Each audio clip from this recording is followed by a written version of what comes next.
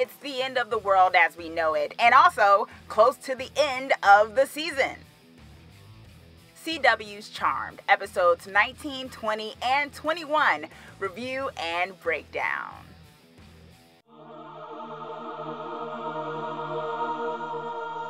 Hey y'all, it's your Twisted Girl next door here, and oh my gosh, I was so sick. Oh my gosh, I was so sick. I honestly thought maybe I had the Harbinger disease, that black ooze on the plague of humanity. That's what it felt like. Oh my gosh. But I'm back and I want to catch up with all of you on Charmed episode 19, 20, and 21. So that's what we're doing a mega review and breakdown. Okay, maybe not that mega because I'm going to try to condense this. Uh, as we go towards the end of the season of Charmed, CW's Charmed, the first season of the reboot, and boy, has it been a ride. Okay, so we're gonna do it a little bit differently because I have to do three episodes in one. So, what we're gonna do is first, I'm going to give my overall thoughts of the last three episodes. So, the overall thoughts, as in what I thought about the overall episodes, because these episodes in particular all kind of happened back to back to back, like everything happened very quickly. So, I wanna give my overall thoughts of that. Then I want to go through each episode's major happening. So the major, major happening. So instead of like a play by play of each episode, I want to do the major happenings and conclusions that happen in each episode, which is kind of what I already do, but it's going to be three episodes. And then my thoughts on each of those major happenings. Then, of course, I want to do my ship talk because, oh my gosh, ship talk, y'all. So much has happened when it comes to the ships of this show, so we have to talk about it. And then finally, I want to do predictions because we're going towards the end of the season after this. It's going to be the season finale, and there's so many shakeups happening on and off screen. And I think we have to get into it. I want to to kind of scratch the surface a little bit with what we've seen so far in the last three episodes of predictions. And then for my final uh, one for the season, I, I really want to dive into that. But for this one in particular, let's give some predictions of what we think the season finale is going to look like. Okay, so overall, with these last three episodes, things have been moving at a breakneck speed. Like, oh my gosh, I feel like although every a lot of stuff was built upon throughout the season in a way for whatever reason, these last three episodes felt like so much stuff was like, I don't want to say crammed in because some of these things were already being built upon, but like the climax of them or the anticlimax in some cases were just like, oh my gosh, didn't think that was going to happen this episode or didn't think this was going to go down in this episode. And it totally did. And then they moved on to the next thing. So, yeah, a lot of stuff happened. There were a lot of revelations to a certain degree. And in a way, some of this stuff was a little predictable. I think some of the things a lot of us had already been guessing was going to happen did happen and so and not necessarily that's not necessarily a bad thing it just was like oh so they didn't like try something different they kind of went with what we figured they would go with. So some stuff was predictable some stuff was a little too coincidental for me a little too neatly packaged or presented and yeah i get it they're in kind of a small town in cases but yeah just just certain things were like, okay, now he works at the hot What?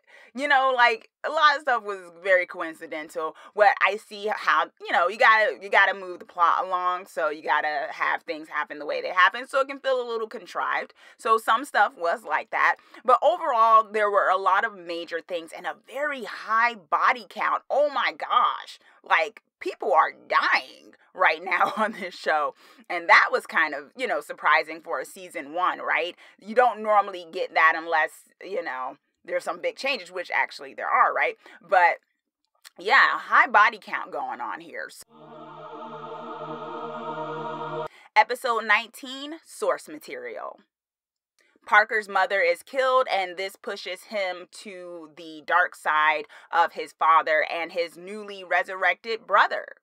This felt a little easy. This was one of those things where it was just kind of like, okay, that's a little contrived. I mean, one, I'm a little sad that his mom died. I think um you know, deaths happened. She was one of the first of the body count, and I just felt like there was more that could that could have been done with this character who has gone through so many things of, you know, having been married to a major demon and coming out of it for being stronger and caring about her son.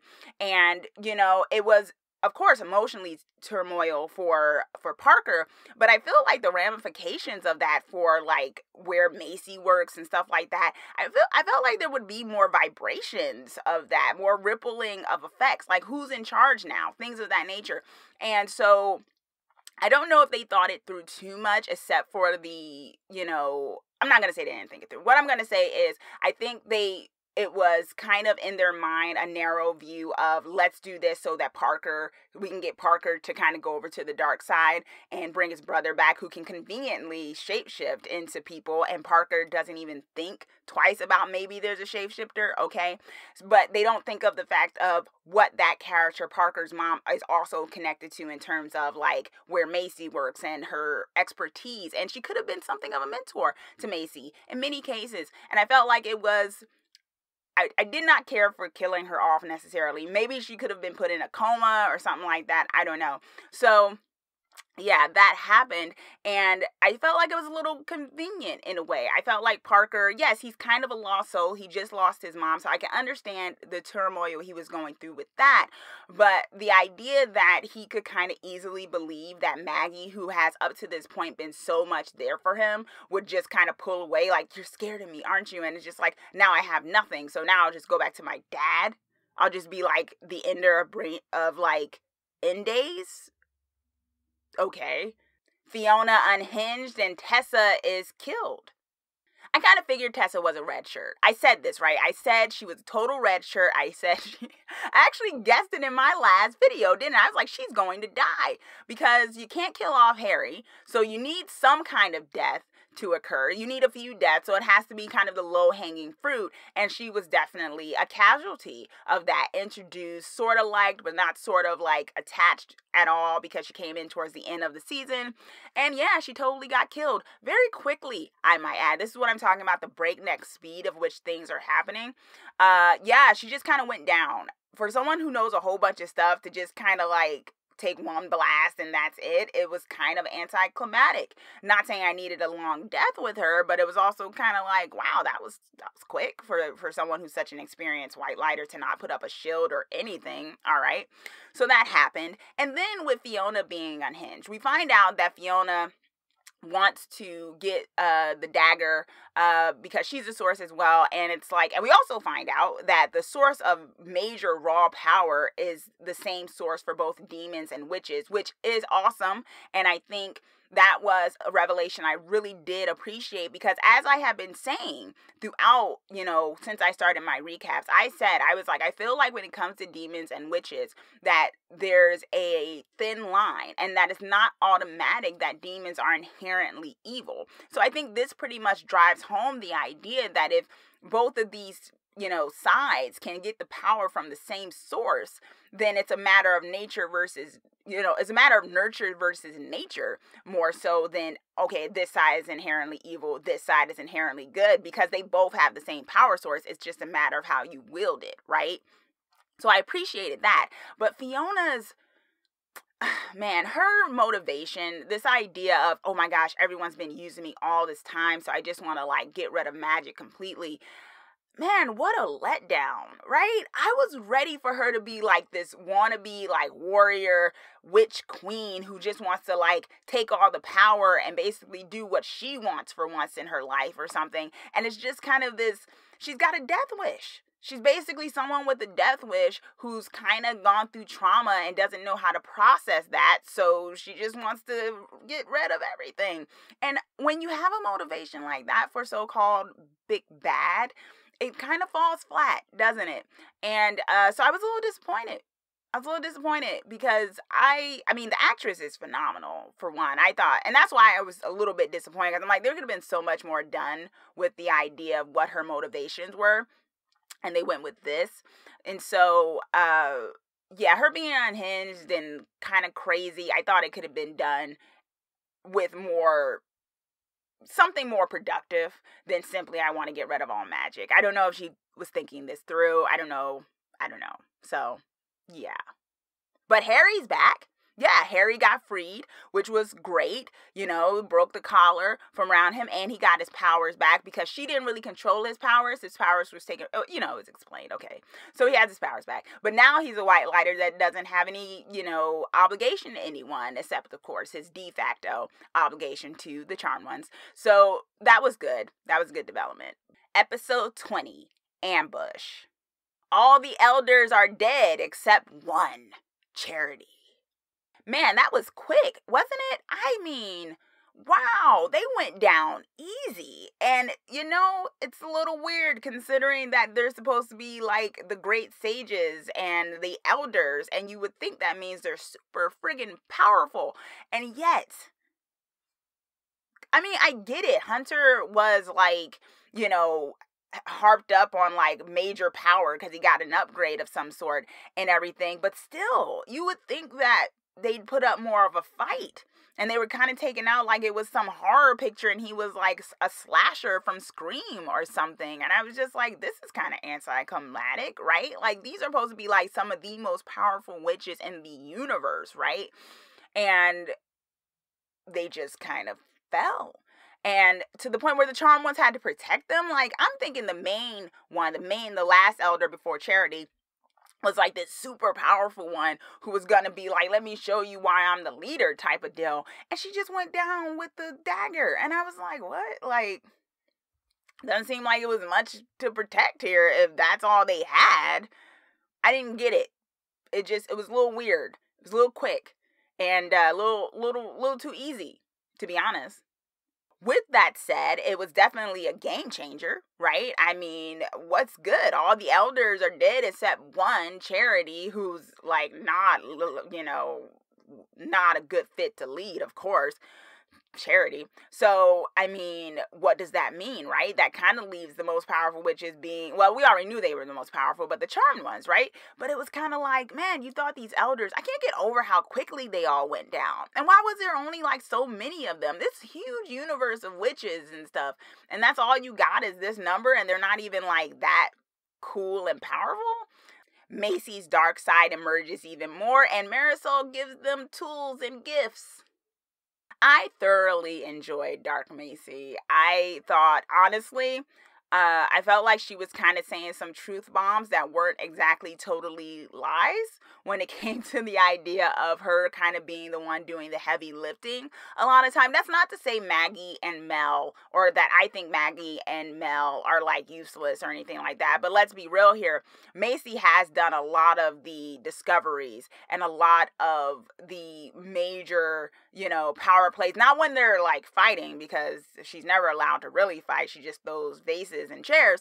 But when it comes to like discovering stuff and things of that nature, Macy has been the major one. Mel sort of, you know, discovered a lot of stuff, especially when she was working with the Sarcana. But other than that, uh you know maggie's been very preoccupied with parker and stuff like that. So it was kind of funny that macy comes in and she's like done a complete 180 like about face of a, in a different direction. And she's just like well why don't y'all go do something useful? Because i've been the only one discovering things. And i'm kind of like well she's kind of saying it mean but she's not really wrong though Marisol also gave uh, two of the, the sisters uh, gifts, and uh, that was interesting. Um, I thought the staff was cool for Maggie because of the idea of let's give her a power. You know, I like her empath power. I think it's very useful, but it's not like, you know, combat fighting. But then again, like this whole emphasis on them fighting, I kind of like it, but sometimes I'm kind of like the whole point of them being witches is the fact that they don't necessarily need to do like physical kind of Buffy the Vampire Slayer fighting, right? So, I mean, it's cool that they added that element, but sometimes I think it gets depended on a little more than the magic at times, which is weird to say, I know. So, I mean, I appreciate the staff. I think it's cool. All right. And, uh, you know, Mel's tool was also cool. The idea that she can like move her body quicker and stuff to fight, uh, you know, the baddies. I think that's fine too. That works. Uh, but once again, I think there's a little too much of an emphasis on this idea of physical fighting, which seems a little weird when you have magic. So, and uh, Macy didn't get a gift. She didn't get a tool. Her mom told her that her gift was the world. So, yeah. Yeah. So, I mean, it's true, but it would have been cool that she got a gift more than just a reference to what she's always had, which was from her dad, uh, the pendant. Uh, so, yeah, that was all right. Lucy is still under Alistair's uh, compulsion. Yeah.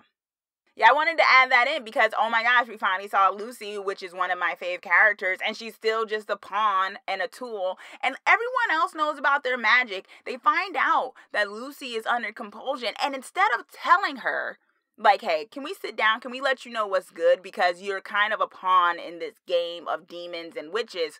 They don't. They just kind of thwart like Hunter and then go away and let Lucy continue to party. And it's like, Maggie, why don't you tell everyone? Everyone else knows about you guys, it seems, except the person who really should know about you because of the fact that she is literally being used.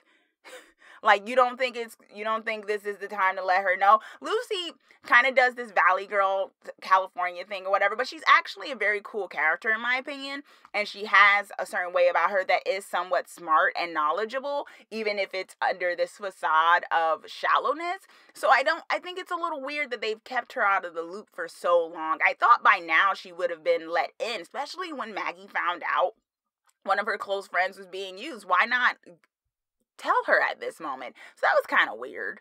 You know, just okay. Also, within that, we got another body count, which was Hunter this time. And I'm kind of sad about that. He, as one of the baddies of the season, I actually really enjoyed. And I didn't want him to die. I wasn't actually, honestly, in that scene, I wasn't sure that he did die. I thought he just kind of vaporized off. So it was a little weird. I mean, because in the next episode, as I'm going to talk about, they reference that he died. So it was kind of like, what? Like, that's it? Episode 21 Red Rain. The Harbinger plague on humanity, and all heck breaks loose, and Galvin sacrifices himself.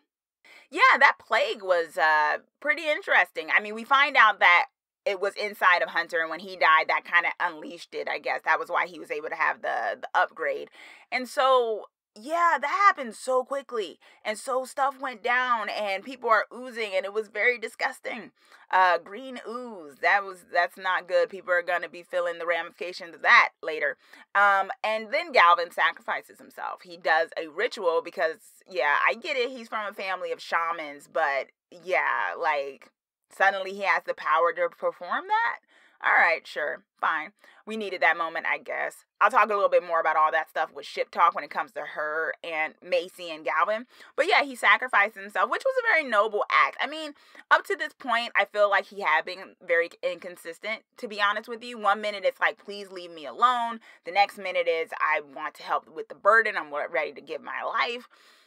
Yeah, so that happened and it was an emotional moment and it was great that he was able to help out in the hospital conveniently. They called him because i guess he's the one guy who does that kind of work.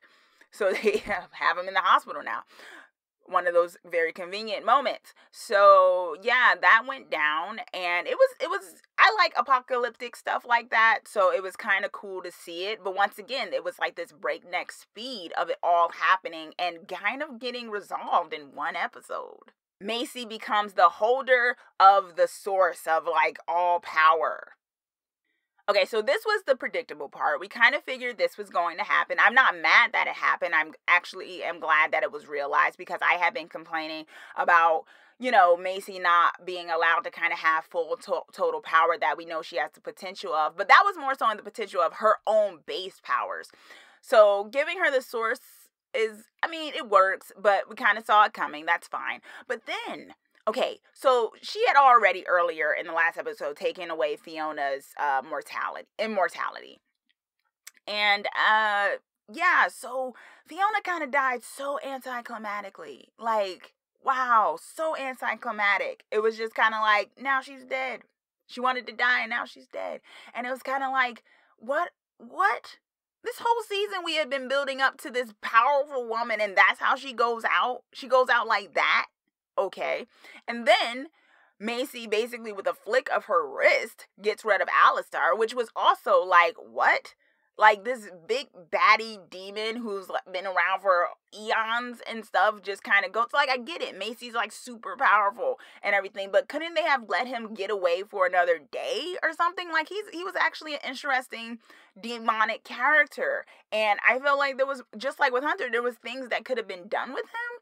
And it was just kind of like, yeah, he's dead now too, with just a flick of my wrist. Wait a minute. Like these were the baddies that we had been building up to for like like all season.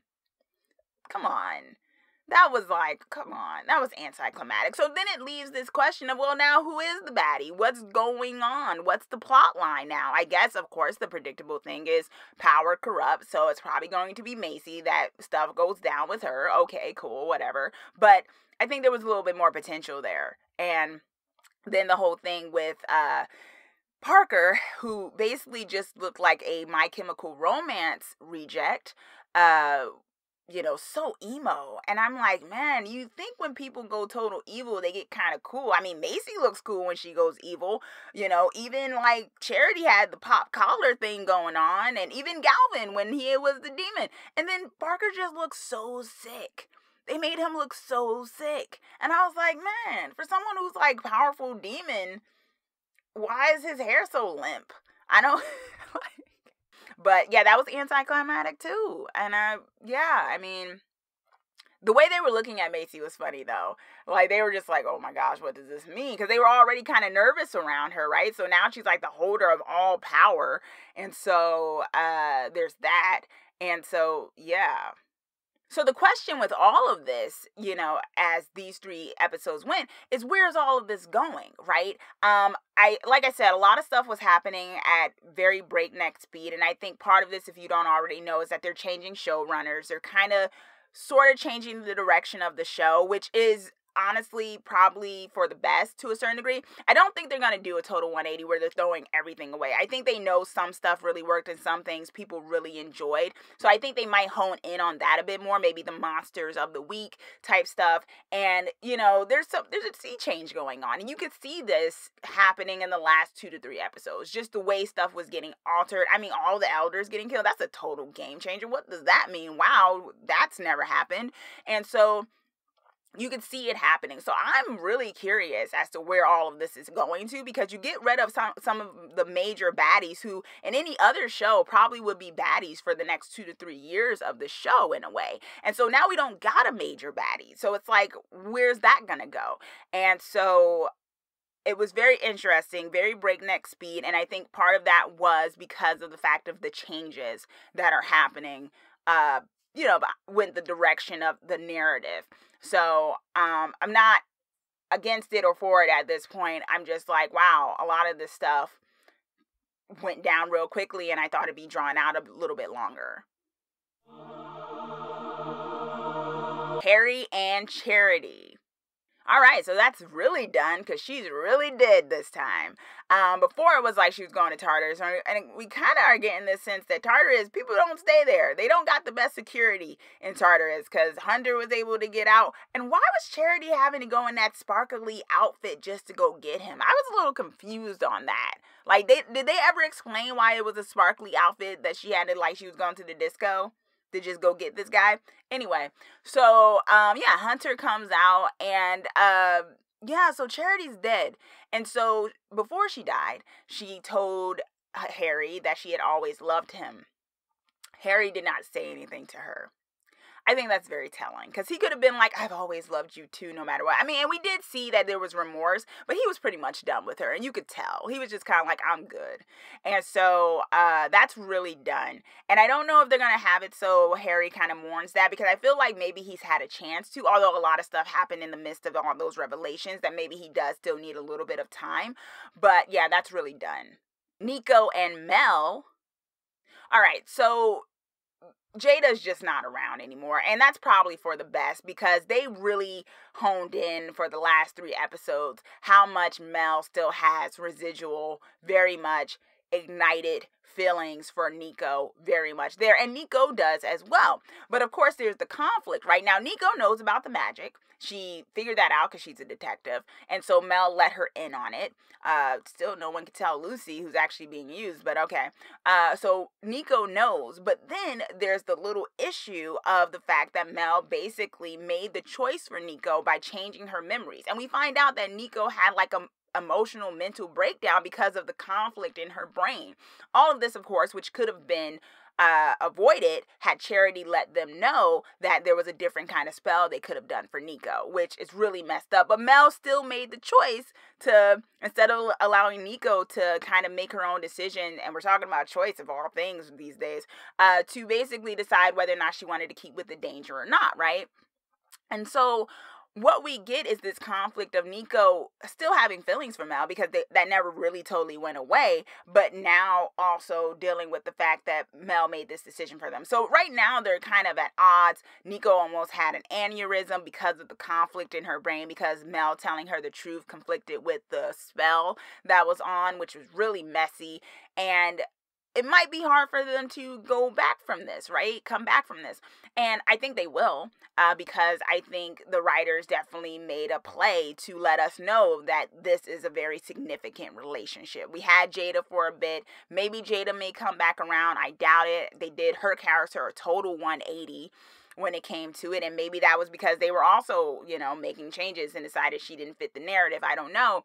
But it's very much Nico and Mel who are kind of the main crux for Mel's like romantic life. Although it may take some time for Nico to come back around to the idea of wanting to be with Mel again. Also, she's supposed to get married soon, so who knows? Uh, but yeah, that was very much emphasized these last couple of episodes. And in my opinion, I think they definitely have chemistry. I I don't actively ship them, but I'm not against them as a relationship. So if they build it back up, because I do think Mel needs to earn Nico's trust again, then I think it could work. But yeah, hopefully it doesn't get drawn out too long, but I definitely think Nico has to come to trust Mel again. Parker and Maggie. All right, so at the end of this last episode, he basically told Maggie to stay away from him because he's not sure what he'll do with his demon side.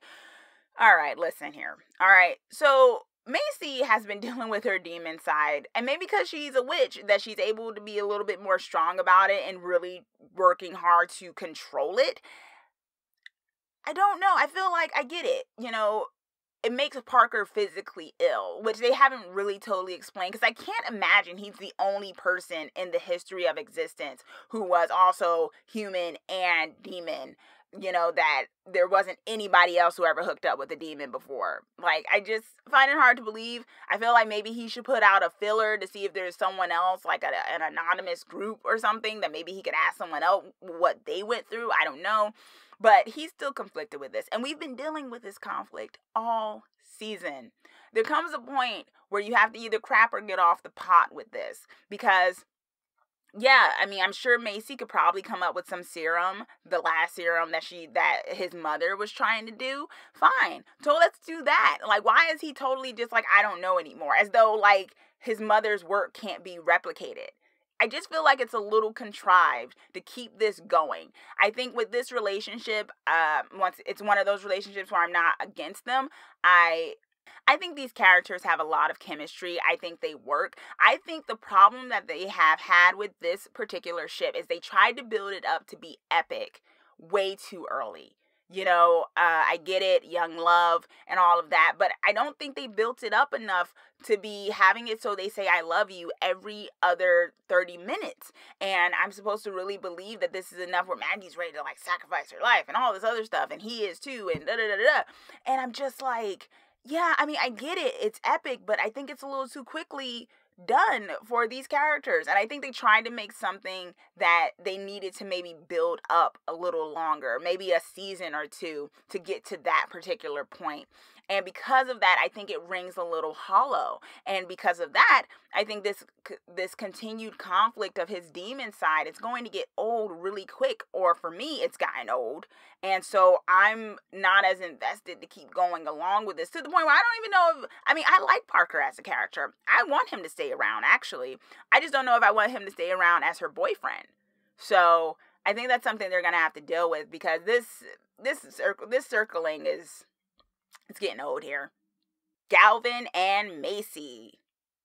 So Galvin died a hero, you know, and I I will admit, um, in the last maybe two to three episodes, I had come to appreciate him a little bit more as a character. But let me say this in other episodes, when the emphasis hasn't been on his romance, quote unquote, with Macy, I have liked his character. I have said it before. They work better as friends, they work better as him being some character she goes to or works with occasionally, and he's a confidant to her. They work better that way. And the romance doesn't work because for whatever reason he just comes off like a really crappy boyfriend to her. Like and she's always having to somehow make amends to him like she's done something wrong as he's as though he's been wrong this whole time in their relationship and that's not been the case. And so it doesn't work romantically for me but as friends i think they worked really they work really well. I i like galvin as a character he's actually very capable you know like the whole thing with the harbinger and stuff he was very useful. It's convenient that he was working in the hospital. It works you know to have it so that these characters have friends in the town that aren't all romantic, right? And so I think they need to go that route with this relationship. But um, he died, uh, and it looks like Macy in her power trip brought him back. But we all know, we all know that there are repercussions when it comes to bringing people back from the dead uh Macy's dealt with that. We see she's the she's a result of that, and um he's fully human though, so it's kind of like I'm pretty sure there's going to be even worse ramifications, and I don't think it's going to be able to hold true. So the question then is, what do you do with that? And um yeah, this relationship, I think he redeemed himself to me in my eyes with what he decided to do because he has been that kind of character to want to do the noble thing. I just don't think it works for Macy as a relationship. And so I think the question is is she going to be allowed to finally move on from this guy when all the dust settles? And I really hope they let her because I this relationship didn't do her any favors in terms of confidence or emotional stability or even like a good plot line. So, yeah. Macy and Harry, y'all. Oh my gosh. Oh my gosh. They they're lovely. They're they're amazing. Such great chemistry. And I loved that in the last 3 episodes we got them working together more often and just the looks and she can read demon and he's all surprised and oh my gosh, that moment where she was casting the spell on Fiona and he was like come back to me. I was like, "What? Whoa, who says that? come on, come on. Moments, y'all, which have been riddled throughout this whole season. We've gotten moments. Maybe not overtly straight up romantic, but there have been moments that really show that these two characters totally should be romantically involved and all the ramifications of that. Could you imagine if there was a pregnancy plot line with the two of them? Right? Like, not only is she a witch, but she's also part demon and he's a white lighter and former human.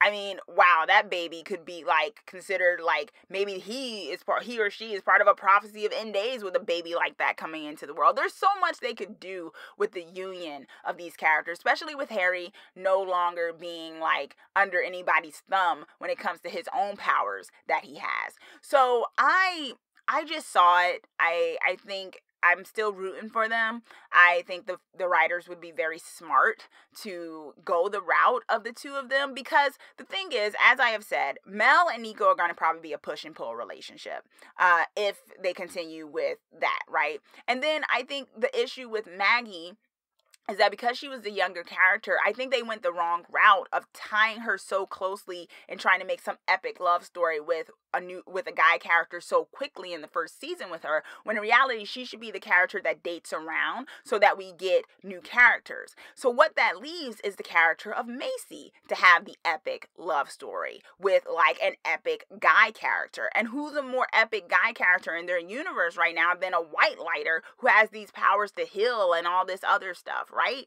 So there's, you know, um, I'm not gonna say he's he could be the angel to her Buffy because that's like one of my OTPs, but he very much can. You know, with all the power she has, with or without being a source, his own source of power, and what that might mean, and him connecting to other white lighters now. Maybe he might be in charge of white lighters. What's going to happen? There's so much potential for them as a power couple that it would be to me a waste not to explore that. So, uh, fingers crossed, but I really enjoyed the Macy and Harry moments that we did get. All right, so my predictions are Macy's going to be corrupted by the power. I think they're going to divide the power amongst the three because you don't got no elders no more. Someone's got to lead. Why not like the most powerful witches? Now, what is that going to mean though if they lead? Like, this may be where they're going in terms of making it more so a show where each week there's a new like baddie to deal with that builds up to a bigger arc because if they are the people that everyone goes to for problems and things that's going to mean they're going to have to do stuff like that on a regular basis kind of like Buffy but more so like you know magic crime fighters in a way of the of the magical world and i think this is a good direction for them and ba- basically they'll also have more powers. So i think this will be really good uh, if they go this direction of them splitting the powers off and and, and amongst the three of them because it, it reinforces the power of three of course and so i think that will work and that's my prediction in terms of them my prediction for the relationships uh, i think uh, charity's done, so Harry's on the market again. I I think they might try with the Maggie and Parker thing going into the new season, but I think they'd probably be smarter to let that go for a while and maybe let her date around. She's young. Let her date around. Let us get a new guy every couple of weeks and see where that happens. And um yeah, so that's kind of my main thing with the ships and I think I think we're going into a different direction. So I think in terms of a new baddie, we may not know who the new baddie is until season 2. I think if anything they're going to try to tie this up and the last bit to tie up is Macy needing to kind of give up some of that source power. So that is what they're going to have to do. Man, has this season felt long. Wow. I, mean, I feel like the show's been on for a couple years and it's and I keep I keep having to remind myself this is only season 1 cuz so much has happened. Great stuff, but some stuff has been uneven, but that's okay. It's the first season. And um yeah, so those are my predictions. So let me know what you think. All right, so I went through three episodes and ship talk and all of that great stuff. Y'all, let me know what you're thinking. I always enjoy talking charmed and witches and magic and supernatural stuff with you, and I enjoy doing this. I enjoy that you enjoy my recaps and reviews and breakdowns, and I really care about you all in terms of your opinions and your support, and I thank you for that. And let me know what you're thinking. Comment down below. What are your predictions? Who are you shipping? What do you think about this potential new direction that the the show's going in. I want to know your thoughts. Comment down below. Let me know what you're thinking. And also, be sure to subscribe so that you're the first to know when I post my videos of all things horror, dark fantasy, and dark superhero. Thanks for watching. Let's get creepy together.